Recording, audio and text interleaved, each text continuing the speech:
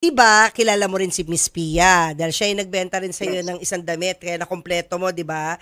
Nag-reach Yes, out na ba siya sa iyo? Nag-react ba siya siya sa iyo sa Ay, ma'am, vlog hindi mo? po. Ah, yun nga po, katulad ng nasabi ko kanina, I did text her Mm-mm. twice Yeah. to inform her na nagpunta si Abigail and the kid. Yeah. And I uh, inform her also through text that uh, nakaschedule siya ng 8 a.m. to be uploaded. Okay. Oo. So, uh, No I reaction didn't so get far. response. Yeah. So sabi ko, baka, I don't know, kung ano, kasi alam ko rin yung feel, mafe-feel ni Ma'am Pia about it. Alam nyo, alam ko naman yun eh.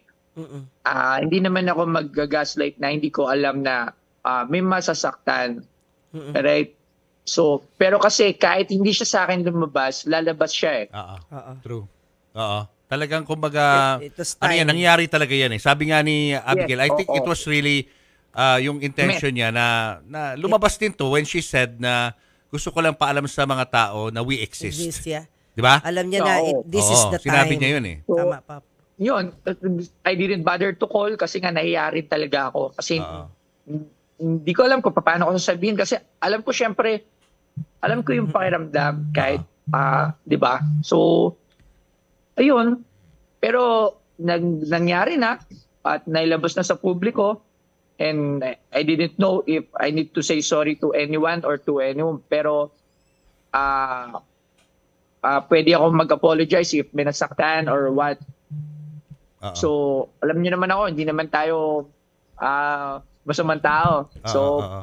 so business for me and still uh, business pa din. Lahat Ah. naman ng ginagawa ko sa buhay is for the business, how to, paano kumita, Yeah. syempre.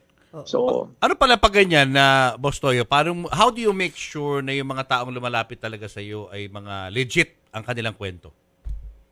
ah, instinct na lang eh. Mm. Tsaka naniniwala naman ako lalo na pag may mga like ganyan story. Siguro naman wala naman pupunta sa akin to make some story Oo. na map- mapapublic mapapublic sa social media tapos it all lahat siya lies. Oo. So, di ba? So, ang hirap nun, di ba? So, sila din yung mapuputukan doon. So, doon ako naniniwala. At, Oo. at dito rin sa content na to, kung nandito kayo, Sir Julius, kung makikita nyo sila, Oo. you, you will see the pureness in their heart na ah, tama yung sinabi nyo kanina na parang they exist. Oo. Oo. Yeah. Yun naman ang kanyang Parang gustong mala- ganun. ano. Yeah, Yes, anong parating. ano reaction ng netizens after pinost mo to? Actually, um, ano nga eh, hindi yun yung in-expect namin. So, all positive, madaming positive, madaming nagulat, ah kon- may konting bash, pero konting-konti, may konting nagko-condemn kay Ma'am Abigail. That is natural kasi sinabi rin naman niya na she's ready for it. Kasi actually bago ko siya i-upload, we've been contacting each other na hindi siya nakakatulog. Mm, mm, mm. Ah, kinakabahan siya. Mm, mm. So, di ako, maka- di ako nakakatulog. Gustoyo. Sabi ko, Yeah. inaantay ko yung upload. Oo. Kasi na-postpone eh from Monday. Oo. Oo. Kasi supposedly I, I was I upload ko siya ng Monday. Oo.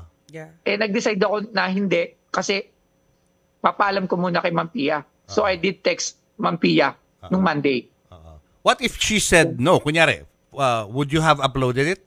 If if Pia said no? Ah, if she said no, we will talk about it. Kasi i-explain ko din side of ng business kung, di ba? Oo. So, syempre, lahat naman nakukuha sa usapan, Oo. Oo. di ba? Yeah.